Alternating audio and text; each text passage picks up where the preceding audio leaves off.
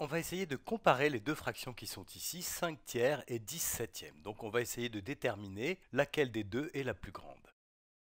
Alors pour ça, je vais utiliser la droite graduée, la droite numérique ici. J'en ai tracé une partie entre 0 et 2. Et je vais utiliser cette droite pour placer déjà le nombre 5 tiers sur cette droite. Alors pour ça, en fait, il faut que je divise le segment qui est entre 0 et 1 en trois parties égales. Alors c'est ce que j'ai fait ici en bleu.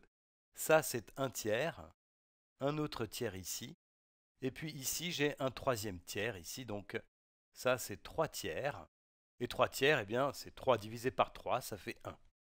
Et puis je vais faire la même chose pour le segment entre 1 et 2, donc là j'ai un autre tiers, encore un tiers, donc alors ça me fait 3 tiers ici, 4 tiers ici, 5 tiers ici, et ici j'ai 6 tiers, 6 tiers c'est 6 divisé par 3, ça fait bien 2. Hein.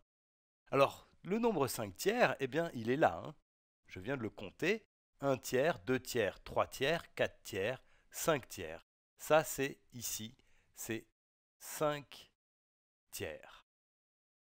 Et puis maintenant, je vais essayer de placer le nombre 10 septièmes sur cette droite graduée.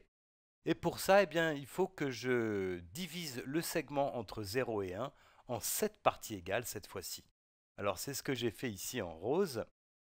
Là, j'ai une partie, deux parties, trois parties, quatre parties, cinq parties, six parties et sept parties. Donc là, si tu veux, je peux le noter ici. J'ai 7 parties sur 7 ici. Et 7 sur 7, c'est 7 divisé par 7. Ça fait bien 1.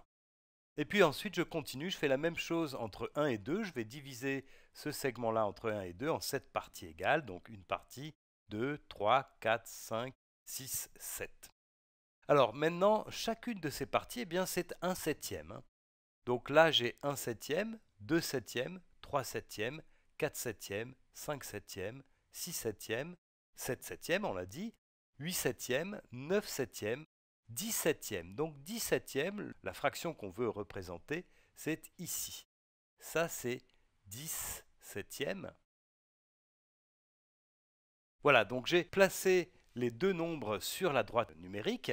Et ce qu'on peut remarquer, c'est que ces deux nombres-là sont tous les deux plus grands que 1 et plus petits que 2, donc compris entre 1 et 2. Et maintenant, ce qui nous intéresse, nous, c'est de savoir lequel est le plus grand des deux. Et ce qu'on peut voir ici, c'est que le nombre qui est le plus à droite, c'est 5 tiers. Ce nombre-là, donc c'est 5 tiers qui est plus grand que 10 septièmes. Alors comment est-ce que je vais écrire ça? Je vais utiliser le symbole que tu connais, qui est celui-ci. Je vais l'écrire comme ça, 5 tiers est supérieur à 10 septièmes.